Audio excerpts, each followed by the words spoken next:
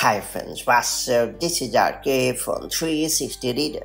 It's time to learn how to show or hide desktop widgets when Stage Manager is active in macOS Sonoma on Mac. Stage Manager is designed to let you manage and switch windows with Atmos Stage on your Mac.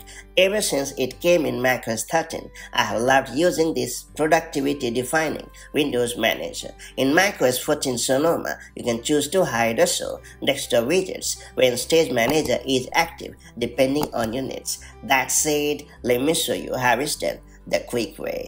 First and foremost, click on the Apple menu located at the top left corner of the screen. After that, choose System Settings in the contextual menu. Now scroll down in the sidebar and choose Desktop and Dock. Then head over to the Stage Manager section and click on the Customize button.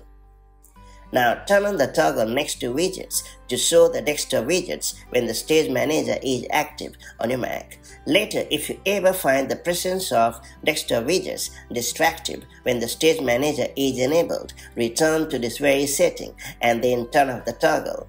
In the end, make sure to click on Done to confirm the change and you are good to go. And that's pretty much it. So that's how you can choose to hide or show desktop widgets when the Stage Manager is enabled on your Mac. If you found this video helpful, do like and share it and I'll see you in the next video with more such handy Mac OS tips and tricks. Till then, stay safe and have a great time. Bye bye.